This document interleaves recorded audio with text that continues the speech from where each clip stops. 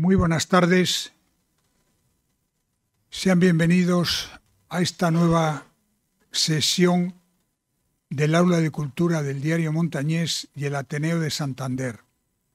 Esta tarde está con nosotros una escritora de éxito que además tiene una especial vinculación no solamente con Cantabria, cosa que primero su apellido la delata, sino que también eh, por su presencia en nuestra tierra a lo largo de mucho tiempo.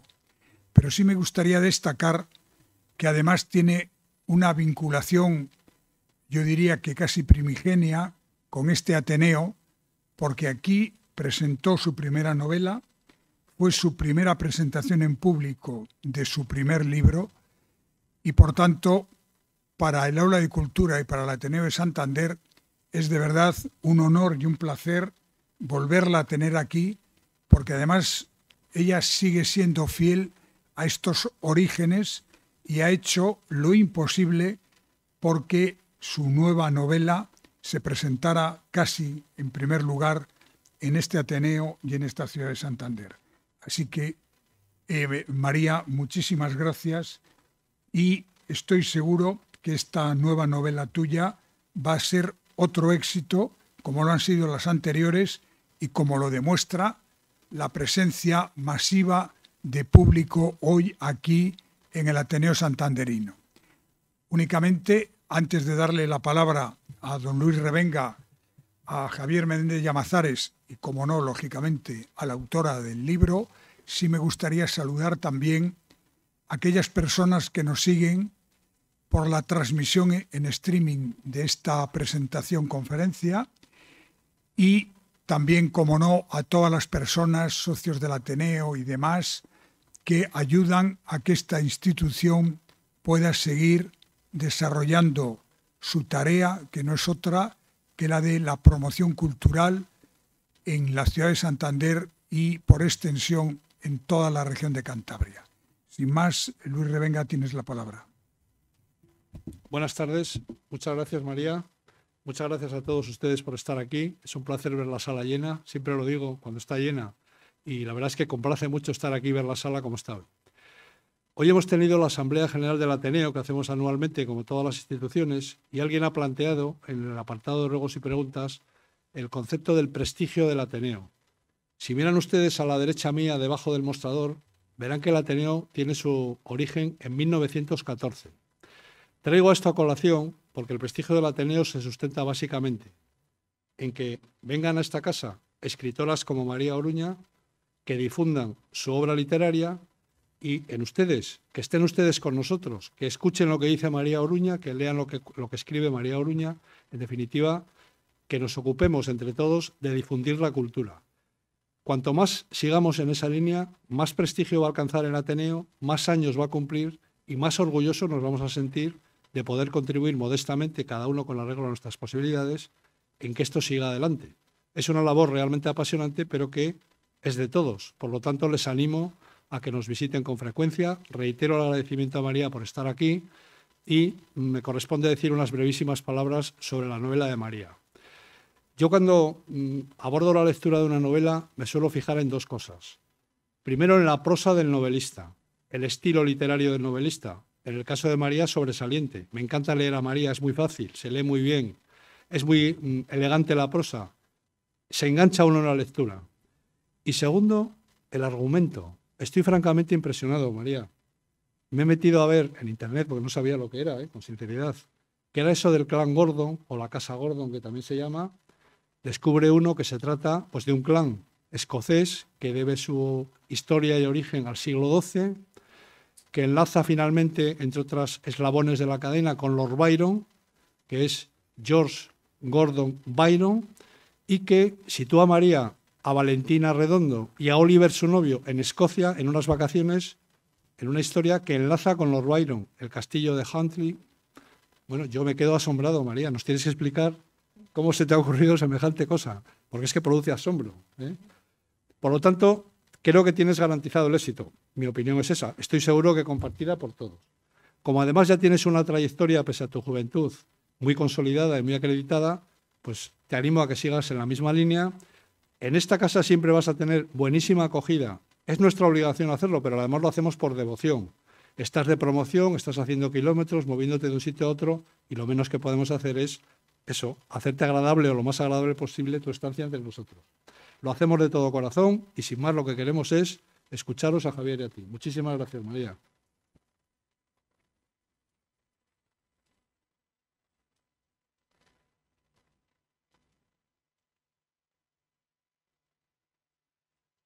Muy buenas tardes a todos. Eh, bueno, yo creo que casi es eh, una tradición anual el presentar a, María Oruña en esta sala y yo creo que el encontrarles a, casi todos ustedes aquí eh, para que disfrutemos juntos de un nuevo libro de María. en este caso, bueno, ya es el quinto de, de la serie de los libros del Puerto Escondido y va a servir eh, no solamente para que volvamos a disfrutar con sus casos, sino para que conozcamos bastante más a los personajes, eh, los, fijos de la saga, como son Valentina y Oliver, y que les conozcamos además, eh, yo creo que en un entorno inédito, que nos sirve para descubrir, bueno, pues yo creo que como aquel chiste que decía que el jefe es el jefe aunque esté en calzoncillos, bueno, pues en este caso Valentina es investigadora y es detective, esté donde esté, porque díganme ustedes, si se van de vacaciones, y yo creo que se me quedará algo, pero se van, digamos, que a Escocia y se encuentran con un incendio, dos crímenes,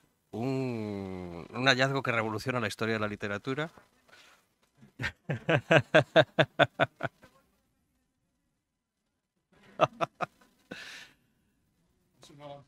Bueno, bueno. No se preocupen que como cuente demasiado, María va a venir corriendo y va a haber un crimen más en la, en la serie de, del Camino del Fuego. Bueno, pues entre todas estas cuestiones vamos a ir a descubrir cómo es esta eh, teniente que normalmente eh, la vemos en un entorno muchísimo más estresante y aquí la vamos a descubrir en las distancias cortas. Eh, yo creo que en ese sentido da la sensación de que María ha disfrutado muchísimo dibujando un personaje en esa faceta que normalmente suele escapar a la vida pública que es esa vida íntima y esa vida privada. Y además vamos a conocer a esa contraparte que descubríamos en el primero de los libros cuando heredaba una propiedad en la costa de Cantabria y decidía convertirla un hotel, pero bueno, también pasaban muchas cosas que no voy a contar, no sea que alguien no haya leído el primer libro. Además, hay una gran ventaja con los libros de María eh, y es que aunque vaya dando alguna pincelada de los personajes eh, se pueden leer independientemente. Eh, incluso no hace falta comenzar, yo creo que por el, por el primero de la saga y seguirlos en orden cronológico, porque bueno, son casos, eh, digamos, cada uno que se autorresuelve y que nos va lanzando algunas pistas, yo creo que como invitándonos al que no lo haya leído, conocer un poco más y, y, descubrir esos otros casos, pero los puede seguir perfectamente, comience por donde comience. Eso yo creo que es muy de agradecer.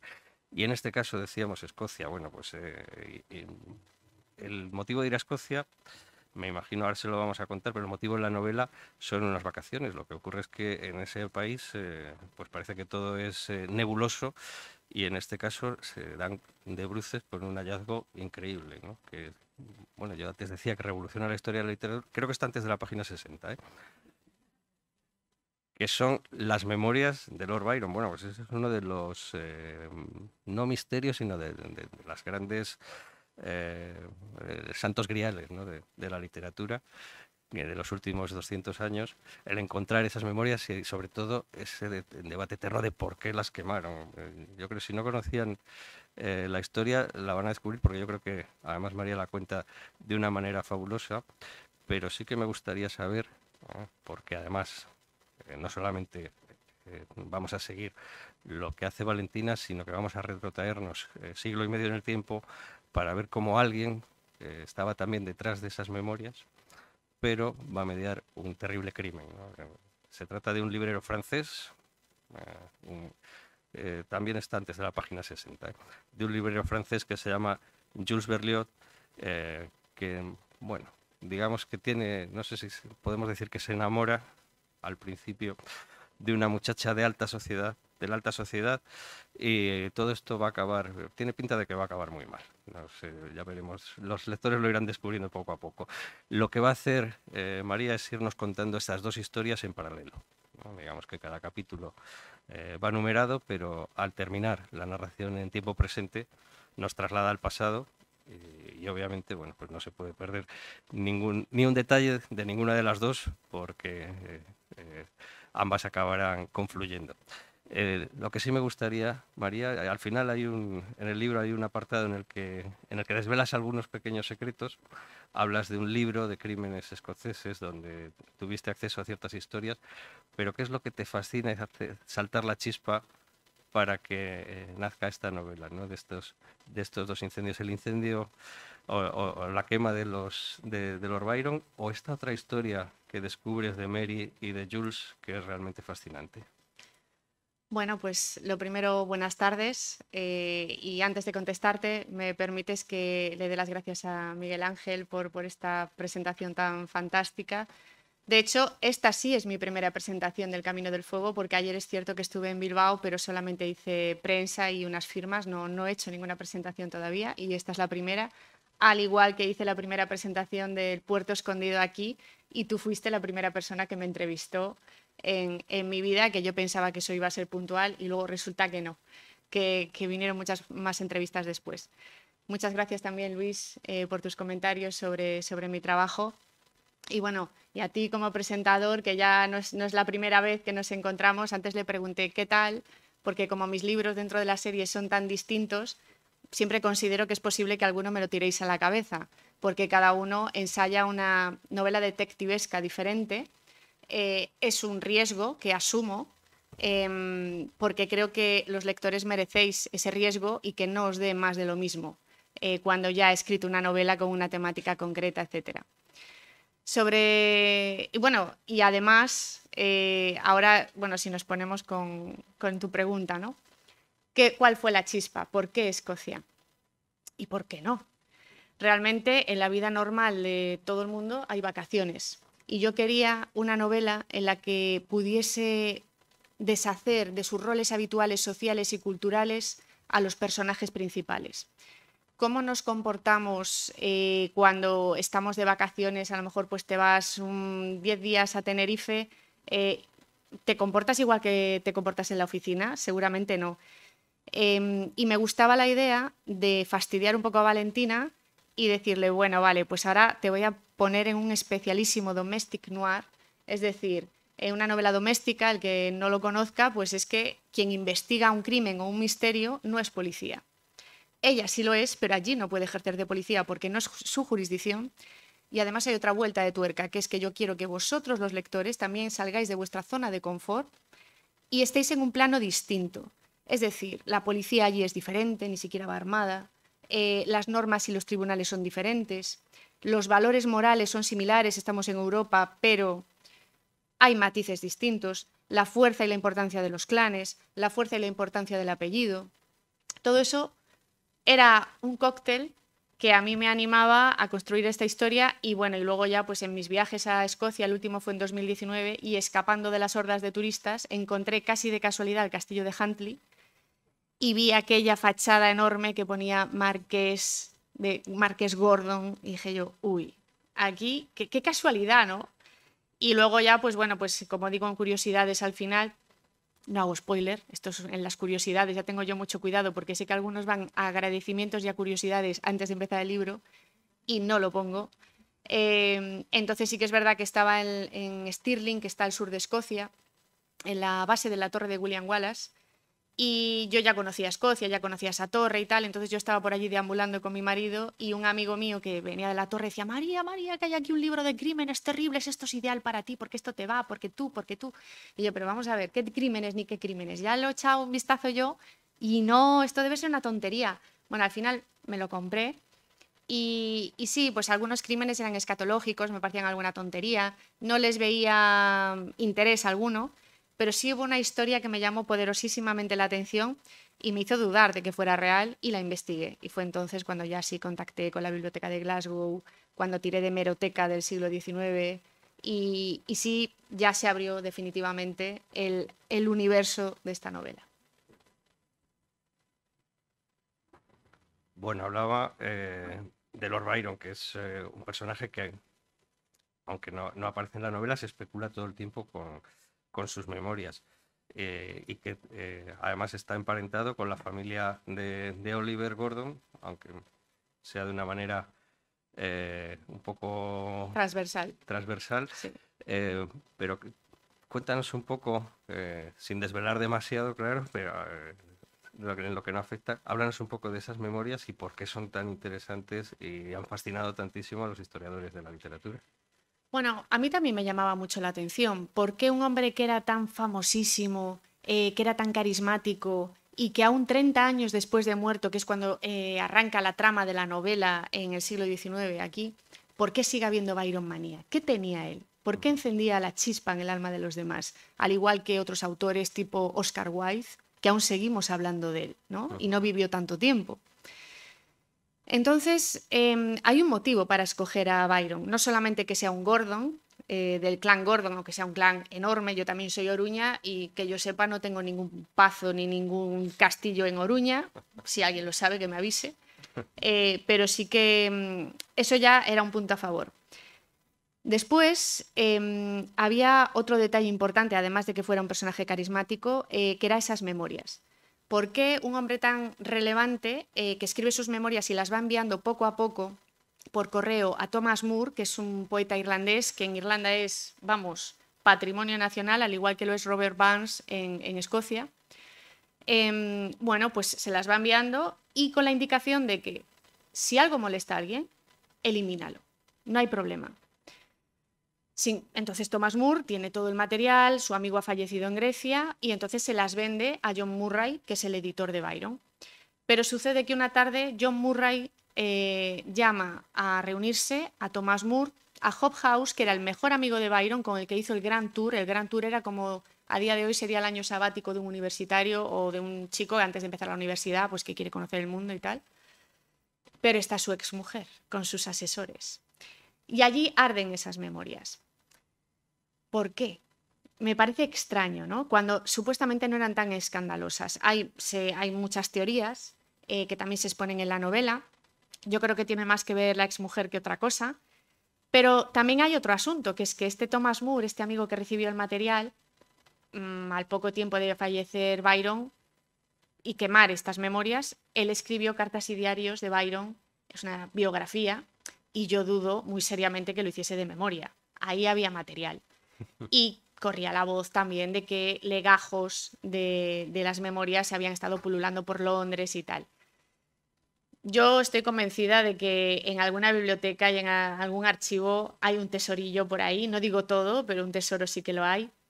¿Y por qué en concreto me centro tanto en estas memorias? No solo por esa curiosidad y porque este fuera un personaje famoso, porque yo quería a lo largo de la novela, de forma no machacona, de forma no ensayística, ir viendo la pasión y la pulsión de por qué esos libros fueron rechazados, quemados, em, fueron vetados, censurados. ¿Por qué daban tanto miedo? Y por eso se comenta a lo largo de la novela y se, habla de ello a lo largo de la, de la, novela para entender esa pasión de los personajes que aparecen por los libros, que es más que otra cosa una pasión por pensamientos ajenos, por ver la perspectiva de otras personas sobre el mundo y la vida que les ha tocado, Em, me, interesaba, pues, por qué los libros eróticos, los de humor, como sale en El nombre de la rosa, que es el leitmotiv, un libro de humor que cuestiona a los poderosos y por eso es peligroso, ¿no? Pues los eróticos, los de humor y las memorias. Eso ha sido lo más censurado a lo largo de la historia. Yo aquí con Byron ya tenía el material y ese es el motivo por el que hago pivotar toda la trama ahí sin que yo tenga necesidad de ahondar ni de hacer una biografía de, Byron, aunque reconozco que me lo he pasado genial leyendo sus diarios y sus cartas, porque hay que reconocer que era todo un personaje. Bueno, si hay un clásico en, Escocia y sus castillos es el fantasma, pero también eh, las cámaras secretas, ¿no? que es lo que de repente descubre la familia de Oliver en el castillo que acaba de adquirir de sus antepasados. Eh, en este caso eh, no es fantasía, sino que ha habido algunos, no demasiados, pero sí que ha habido algunos hallazgos curiosísimos eh, en la historia de, cámaras reales dentro de, casas antiguas, de, castillos. No sé si te inspiraste en alguno en concreto. Hace unos 20 años apareció en Salamanca, por ejemplo, una, en el casco antiguo apareció una habitación sellada donde tenían, creo que eran alrededor de 200 libros perseguidos, indizados, prohibidos por la, por la Inquisición.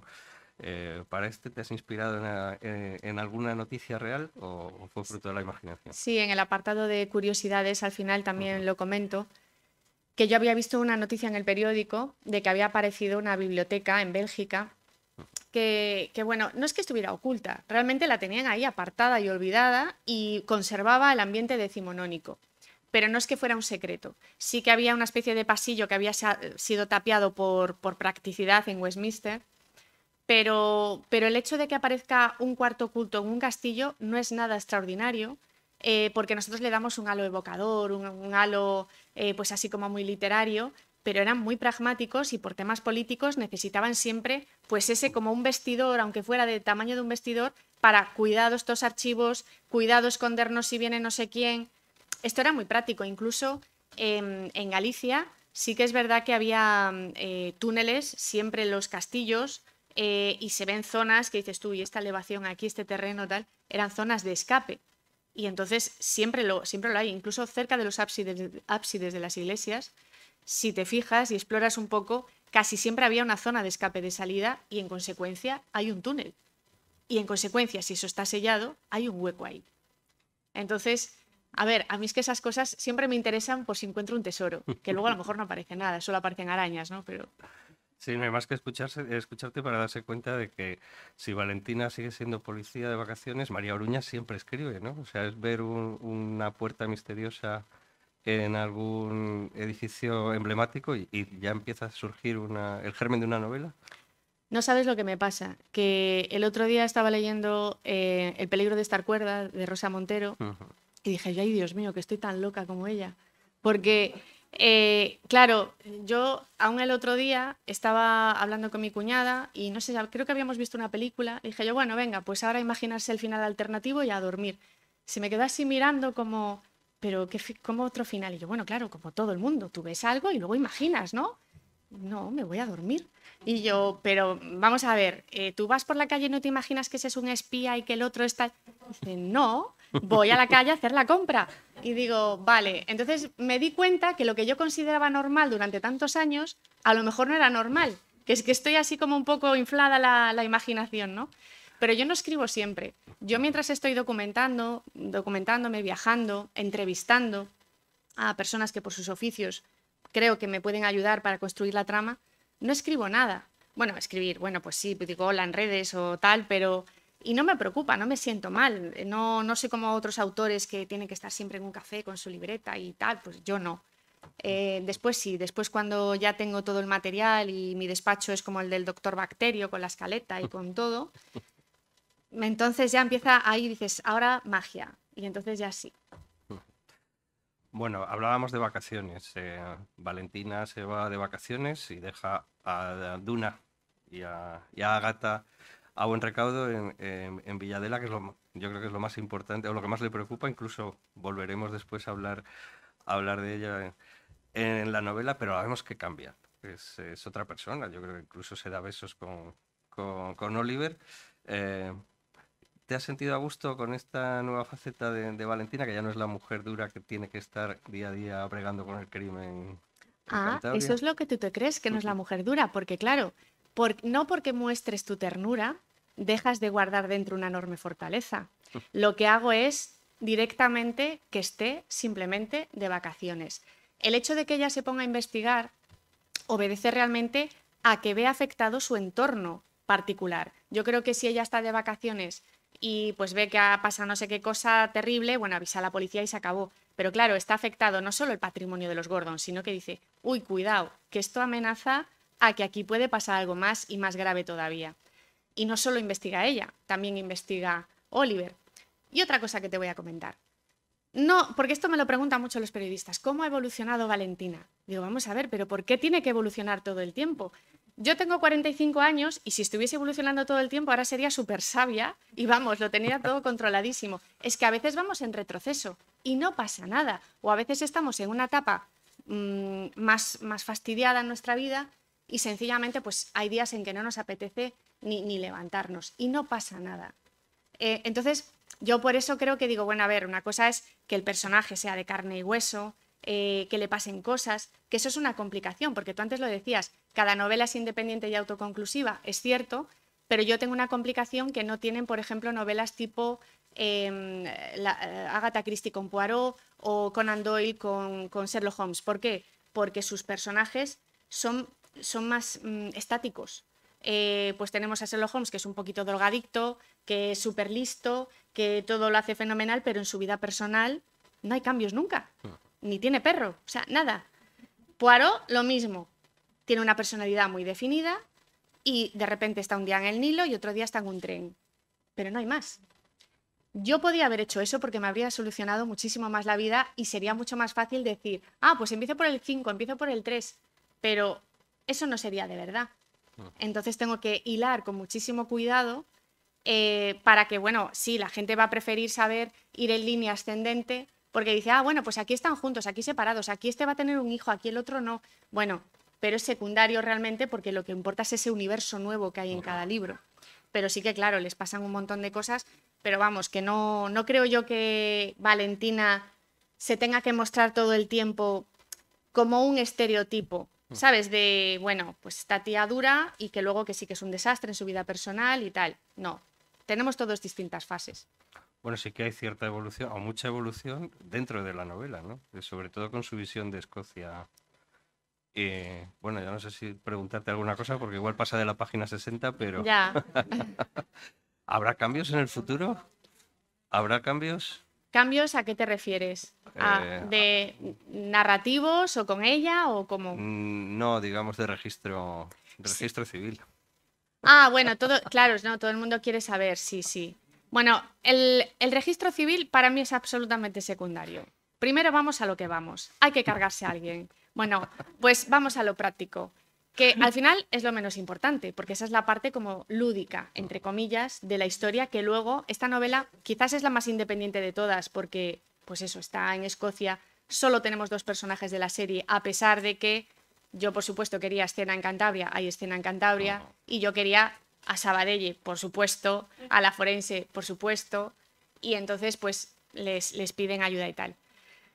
Pero, mm, pero bueno, lo que es la evolución de ellos a nivel personal es algo que a mí me preocupa menos y es lo último que pienso antes de crear ese universo en cada nueva novela. Yo de hecho estoy, empecé a trabajar una sexta entrega y es lo que menos me preocupa. Yo ya lo que me importa es otro pozo, otras de las capas. Realmente, ¿qué es lo que quiero contar?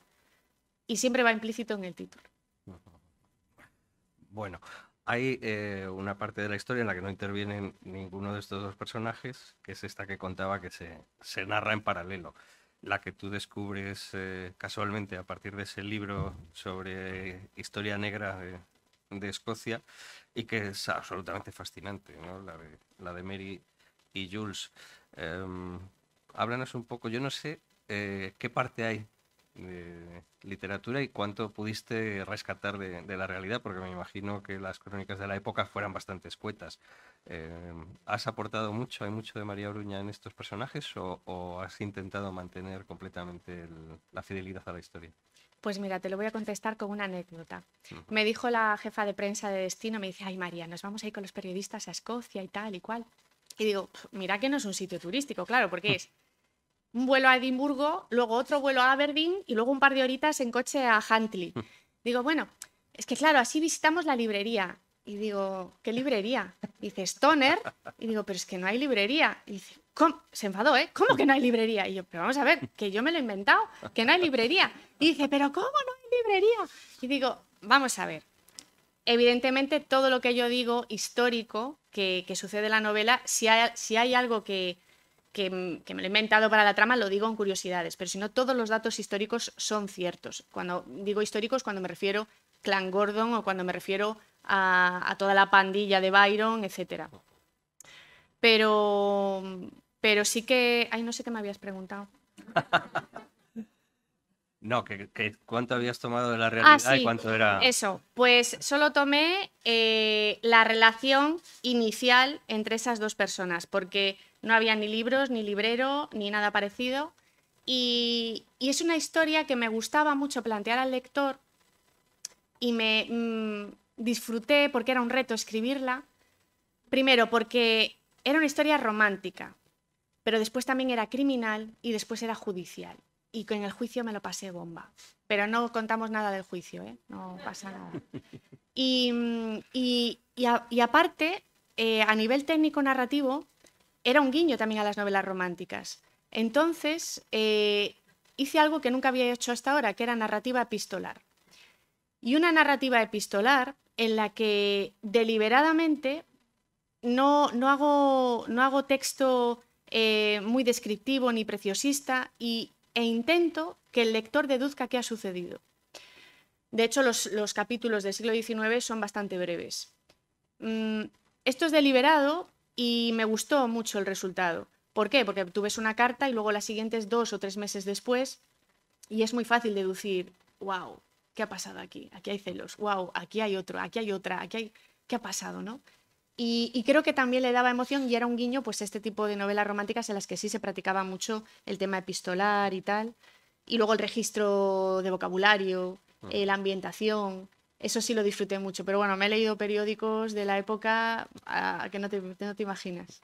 Lo que es tremenda es esa sociedad victoriana que refleja, ¿no? Y cómo está Mary atrapada, eh, completamente encorsetada en un sistema social en el que obviamente el amor no es como nosotros lo conocemos hoy día y está, yo creo que en una situación bastante desesperada, ¿no?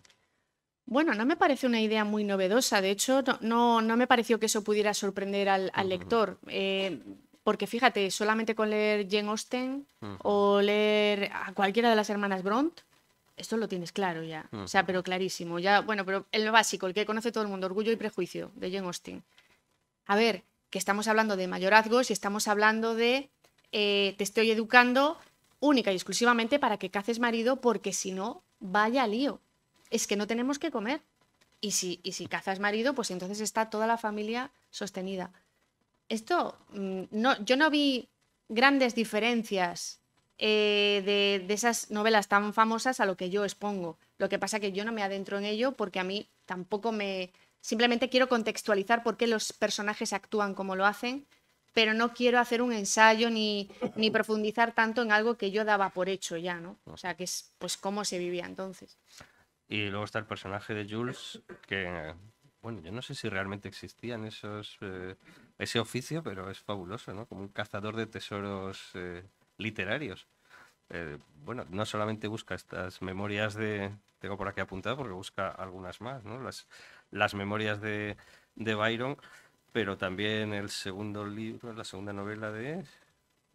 Eh, un libro de, de Bilón que no sé si realmente existe o es fruto de tu imaginación. No, no, existe. sí. Y la segunda novela de Emily Bront. Eh, ¿Existían realmente ese tipo de libreros eh, investigadores? Porque casi te daría para una novela más, ¿no? ¿Verdad? Sí. Jo, si es que hay material en todas partes, lo que pasa es que no me da tiempo. Bueno, pues em, sí existían, pero no exactamente en la época en que yo lo digo, empezaba a haber esa fiebre, pero esa fiebre empezó, pero muy duro, uno, unas cuantas décadas después. Pero sí que empezaba a ver el germen porque sí que había esa se empezaba a codiciar esos temas prohibidos y empezaban a ser objeto de deseo, pero de una manera muy, muy suave y muy paulatina. Después ya sí que comenzó el tema y, de hecho, cuando documenté El bosque de los cuatro vientos, que es el libro que no está fuera de la serie, tuve que crear eh, a un personaje, John Becker, que era un detective de arte, que está basado en una persona real, Arthur Brand, que, tuve el gusto de, poderlo saludar y conocerlo, conversar con él y ver cómo, cómo trabajaba. Eh, es alucinante la élite social eh, que es invisible para, nosotros, al menos para mí, que sí que tiene cuartos en su casa eh, con un fetichismo increíble, absoluto, sobre obras de arte, algunas literarias, las menos, pero obras de arte, cuadros, piezas egipcias, ay, es que esto pertenecía a no sé qué faraón, tal. eso existe, gente que mm, si eres el elegido, accedes a fiestas privadísimas, confidenciales, y te muestran esos tesoros. Eh, a ver, ¿qué sucede? Que luego en la práctica, si no son muy multimillonarios, eh, luego dicen, uy, esto lo tengo aquí solo para verlo yo, con lo bien que iban a una subasta. ¿eh?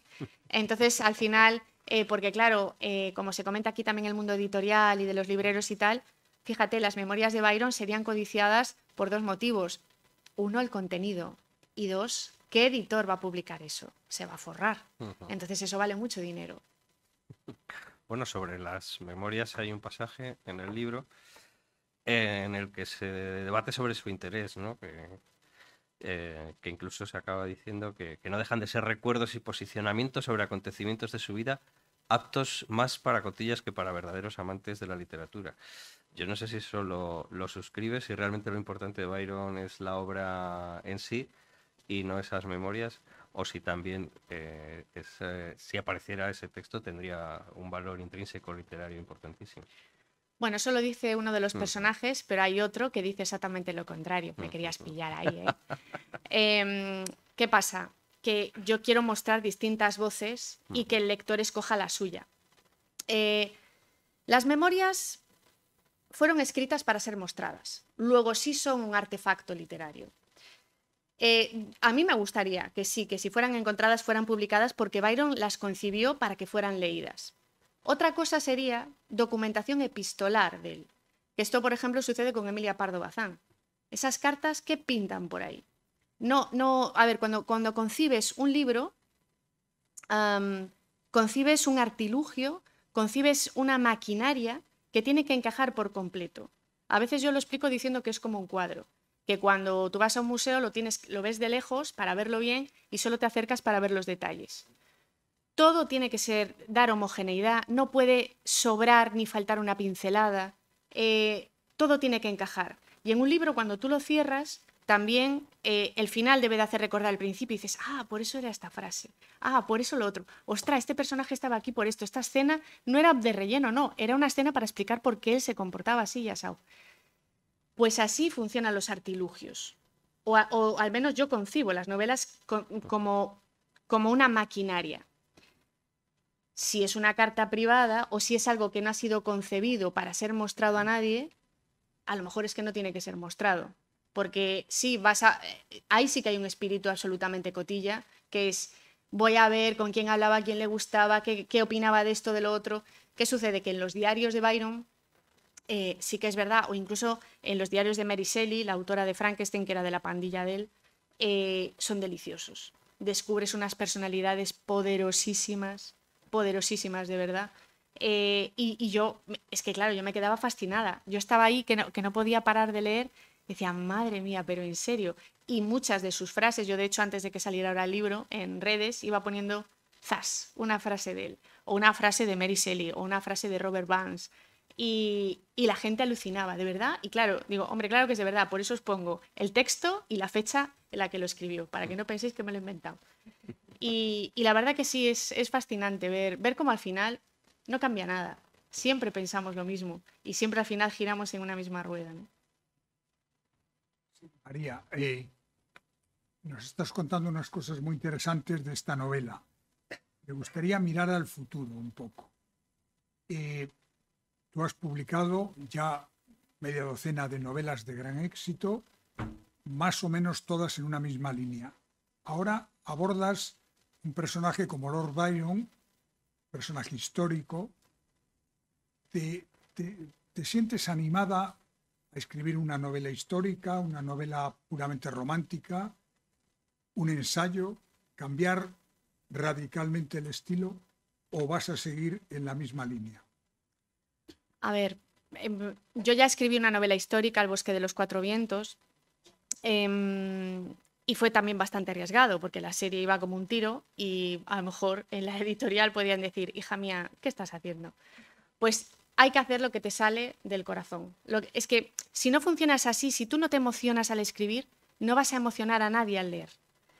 Y por eso hay que funcionar así, no enfocarlo de manera comercial ni de ninguna otra. Yo no tengo etiquetas a la hora de escribir. No sé por qué escribo lo que escribo, ni lo etiqueto, ni lo concibo de una manera predeterminada. Eh, romántica ya te digo que no lo veo, porque en efecto hay historias de amor, pero bueno, siempre hay un poquito de sangre, lo típico. Pero, mm, pero, pero sí me veo más, pues novela histórica sí, porque, a ver, a mí cualquiera que me lea ya lo sabe, me gusta la historia, eh, investigar, curiosear, eh, me gusta la ciencia.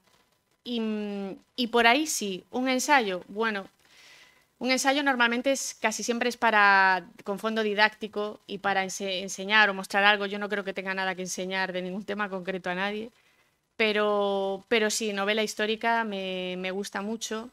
Narrativa, claro, porque a mí se me califica de novela negra, yo escapo un poco de ello, a pesar de que ya sé que lo pone en la etiqueta y tal. Pero yo estoy más entre novela de misterio, novela histórica.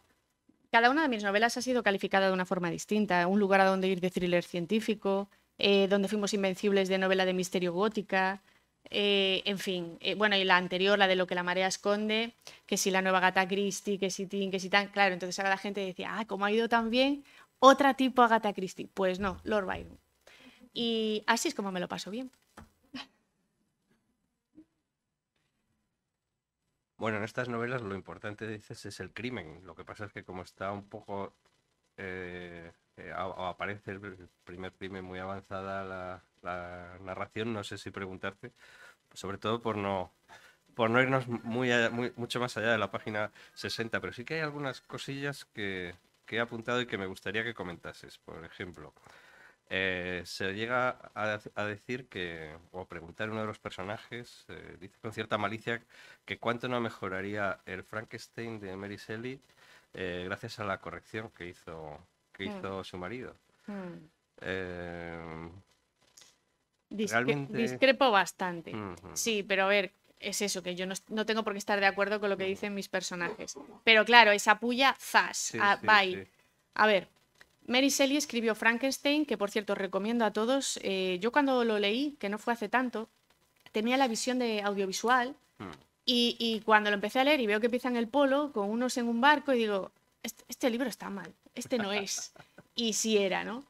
Eh, tiene un enfoque, una estructura narrativa increíble, unas reflexiones que es alucinante que las hiciera una, una mujer del 19, pero hay que pensar que es una mujer, bueno, a día de hoy con 19 parecemos niñas, pero, pero con, en aquella época eran mujeres ya. Ya se, se había ido con un hombre casado, que era Percy Shelley. Em, y, y, ya, bueno, ya tenía mucha vida encima. Ya se había enfrentado a sus padres, ya había perdido todo. Bueno, el caso es que siempre va a haber estas pullas, ¿no? Y esto siempre existe. Pero curiosamente, la obra de Percy Shelley como poeta pervive en gran medida gracias a Mary Shelley, que dedicó el resto de su vida, después de que él falleciese, bastante torpemente, por cierto, pero eso es otro tema, después de que él falleciese, ella se dedicó a promulgar y a recopilar todo su trabajo. O sea, realmente siempre hay dos versiones de la misma historia, pero luego tú tienes que ver los hechos. Cuando las palabras ya no existen, cuando ya han sido traspasadas por la memoria, cuando ya ha pasado todo, digo, vale, muy bien, ahora ya no me puedes convencer. ¿Qué, has hecho? Quiero ver los hechos. Y cuando ves los hechos, ves todo el trabajo que hizo ella por rescatarlo a él, no viceversa. Pero bueno, me divertía que hubiera algún ahí personaje antipático. bueno, eh, también hablas eh, o aparece un, editor independiente mm. eh, que resulta que su negocio, aunque él se considera editor literario, bueno, pues su negocio, lo que mantiene a flote su editorial, es la, autoayuda, que es, digamos, el, coco para, para, una editorial dedicada a la literatura. Eh, he leído por ahí además que esto está tomado directamente de la realidad. Es decir, que la, autoayuda está financiando la, literatura española contemporánea. Bueno, yo no digo toda la literatura ni nada, pero sí te puedo decir que, claro, tenéis que pensar que yo hasta 2015, que salió Puerto Escondido, yo estaba en el mundo de los abogados y no tenía ni idea de los tinglados editoriales ni, ni nada. Y creo que fue en el 2016 que me tomé un café en Barcelona con un editor independiente y, bueno, cultísimo, tenía una línea editorial con unos clásicos maravillosa y tal. Y digo, jo, pues, y, esto se vende bien, porque claro, son clásicos de hace muchos años y tal. dice, no, no, que va, y entonces dice, ah, es que tengo la línea verde. Y yo, ¿qué línea? Dice, la de autoayuda. Dice, esto es lo que paga las facturas. Y yo me acuerdo que, me quedé así como bastante sorprendida y, dije, bueno, esto un día lo tendré que contar. De alguna manera le tengo que dar voz.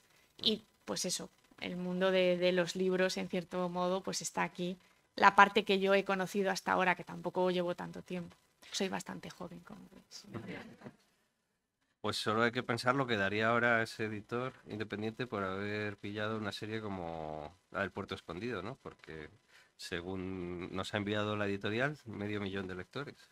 Son unos pocos más, pero te diré que yo recibí muchísimas negativas cuando estaba intentando, pues, empezar, pero con toda lógica. Yo ya ni siquiera iba a las editoriales, iba a, los agentes literarios y claro, me preguntaban quién era. Yo, pues, pues nadie. Yo era invisible y no era nada. Tampoco es que ahora sea mucho, pero yo no tenía currículum y no tenía premios, no tenía amigos, no tenía padrinos, no conocía absolutamente a nadie. Entonces, eh, lo que hice fue, pues, currarme una muy buena sinopsis para intentar que al menos leyesen 10 líneas. Y de hecho, la sinopsis que aparece en la, en la contraportada de Puerto Escondido es la que yo mandaba a las agencias literarias y que durante tantos meses me dijeron que tenga suerte, parece que pinta muy bien, pero no eres nadie. Bueno, o sea que realmente es eh, un caso pues como el de Bukowski, etcétera, ¿no? Que comenzó, eh, yo creo que el primer libro de Bukowski se llamaba Secuelas de una larga carta de, rechazo. Es decir, que él tenía, no sé si eran 50 o 60, una colección de 50 o 60 cartas de rechazo. No sé si las tuyas llegaron a tanto porque no debía haber tantas agentes literarias eh, en España, pero... Yo creo que lo probé casi prácticamente con, con todas, pero ¿sabes qué hice un día? Eh, porque cambié el correo electrónico y tal, digo, las voy a eliminar. Todos los noes los voy a eliminar. Ah. Es carga negativa. Vamos a pensar en positivo. ¿Ha sucedido? Sí. ¿Voy a detenerme un solo minuto de mi pensamiento en este asunto? No. Bueno, yo eh, hacía un pequeño juego en cuando escribía ayer para, para, el periódico sobre esta presentación diciendo que llevas la costa quebrada de, Cantabria a Escocia pero parece que también te llevabas el tiempo, ¿no? Porque dices que los, en Escocia solo hay dos estaciones, que son junio y, el invierno, ¿no? Doy fe. En agosto, qué frío pasé, Dios mío. Sí, te lo digo de verdad. fui la primera vez con mi marido en 2010 y, y nos tocó alerta roja. Diga, eso no es nada, seguro, que eso debe ser lluvias. Una porra. Bueno, no había, no había un alma. Aún así fuimos por todas las tierras altas, todo, todo, todo. Y volvimos en el 2019, donde ya encontré el castillo de Huntley, etcétera, tal. Era agosto y yo, confiada de mí, que además me fui a la isla de Skye, que es la portada del tercer libro de la serie, dije, me voy a llevar un vestidazo que va allí con el viento y tal, y voy a hacer una foto tremenda. Mira, el vestido se quedó en la maleta, pero yo lo único que hice fue pues comprar, o sea, las sudaderas estas de propaganda, yo por favor deme la más gorda que tiene. Allí estábamos con 50 cosas puestas encima, superpuestas, y, sí, hicimos foto, pero vamos, yo estaba así como... Mm". Sí, fue un poco lamentable. Pero, pero sí, hace frío, ¿Y cuando viajaste a Escocia ya tenías en mente que en algún momento ibas a escribir una novela de, de Valentina allí o era mero turismo? Bueno, em, tenía ya el pálpito de que algo allí había, pero es que hasta que voy e investigo nunca sé qué me voy a encontrar.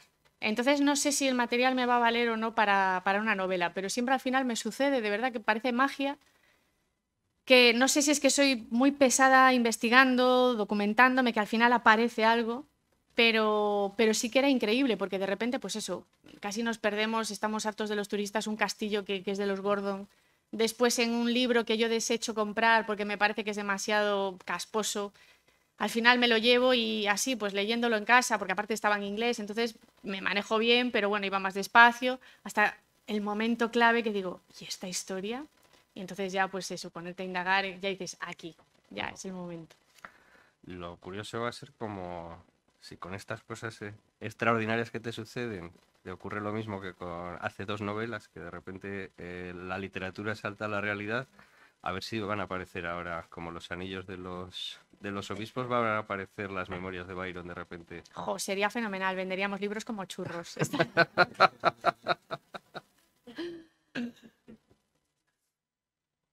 Eh, yo creo que es el momento de hacer una pequeña pausa, agradecer a María Oruña eh, esta intervención, recordarles a ustedes que este último libro de María se está vendiendo en la entrada que después ella firmará ejemplares, estoy seguro que encantada, a todos los que lo deseen y que ahora llega su momento. Eh, quienes quieran hacer alguna pregunta, por favor que hagan una seña, se les pasará el micrófono y repetiré esta especie de mantra de que por favor las preguntas sean concretas, no muy largas, y que no haya conferencias paralelas. Eh, así que a partir de ahora, quienes quieran intervenir, por favor, estaremos encantados. Hagan una seña, les pasaremos el micrófono y María estoy seguro que contestará estupendamente. Sí, ya veis que soy bastante maja. ¿eh? Os voy a contestar a todo, no seáis tímidos.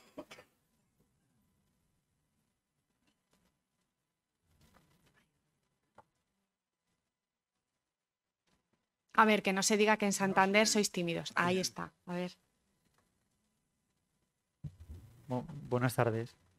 Eh, ya te han ofrecido pasar esta, esta, esta serie de, de, novelas a la, a la, ficción televisiva. Di que sí, al grano. Em, pues mira, se ha hablado, se ha negociado y se, se va considerando. De momento lo tenemos un poco ahí en stand-by porque de hacerlo lo queremos hacer bien. Y el caso es que em, estos temas van bastante lentos y hubo un parón que fue la pandemia.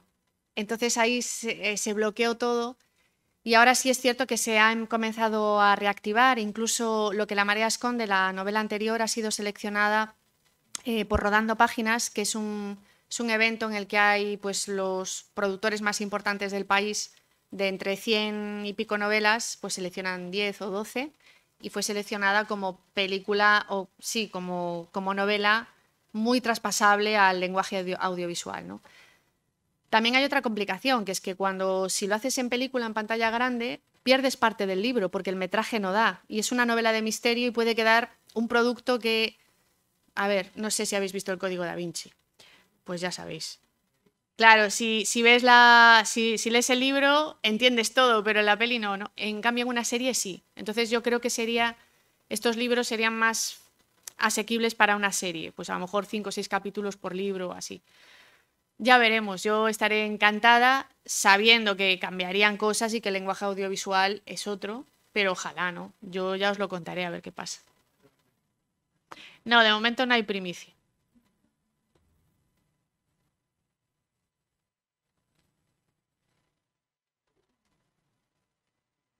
Hola.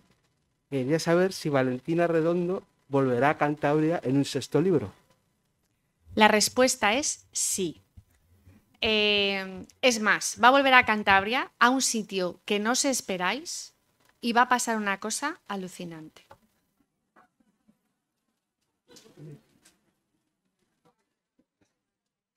Y ya no os digo nada más. ¿Para cuándo Ay, amigo, claro, claro, claro. No, lo queréis saber todo.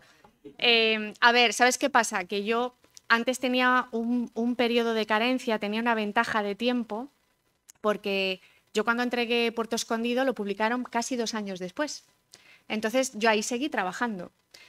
Este libro, El Camino del Fuego, fue entregado hace un año. Y yo en ese periodo, ahora no soy abogada ya, yo soy escritora profesional y me dedico a esto. Entonces yo ya empecé con una sexta entrega, pero el periodo de ventaja que tenía cada vez disminuye más porque no tengo más que viajes, eventos, he tenido que bloquear ya algunos porque es que es literalmente imposible para mí crear, tengo que crear desde mi guarida. Y, y claro, fijaos que este año es un año tranquilo, ya no sé a cuántos sitios he ido entre Pamplona, Murcia, Cuenca, eh, Barcelona, eh, Milán, porque sale la marea en, Italia en junio, el 14 de junio. Ahora en noviembre tengo que ir a México. Eh, es, complicado. Entonces, hablar de plazos, eh, yo digo, uy, libro por año sí sería factible si solamente escribiese y no tuviese que hacer viajes, no tuviese que hacer festivales, etc. Pero con todo lo que conlleva en mi caso, para mí es inviable si quiero no solamente mantener el nivel de calidad, sino siempre intentar al menos subir un escalón. No os estoy dando exclusivas, como veis. ¿Alguna otra pregunta? Lo hemos explicado todo fenomenal, entonces, ¿no? Pues eh, entonces, muchísimas gracias a María Oruña, que ahora estará encantada de firmar ejemplares. La vamos a despedir con un fuerte aplauso y que nos haga la promesa.